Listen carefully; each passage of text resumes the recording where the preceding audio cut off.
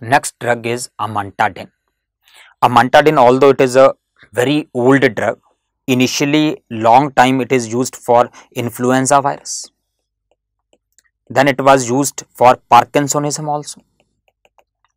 Now recently it has been found that it has additional mechanism of blocking the NMDA receptors and this NMDA receptor blocking action of amantadine is approved to treat the Parkinsonism uh, levodopa induced dyskinesias. Remember many anti-Parkinsonian drugs particularly levodopa they can cause dyskinesia and that dyskinesia can be treated by amantadine. So, amantadine is the drug used to treat levodopa induced dyskinesia.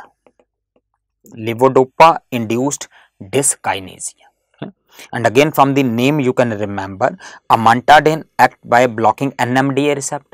So, if rearranging it is NMDA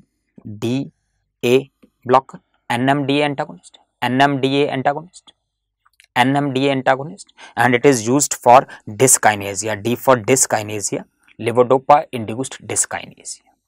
Clear?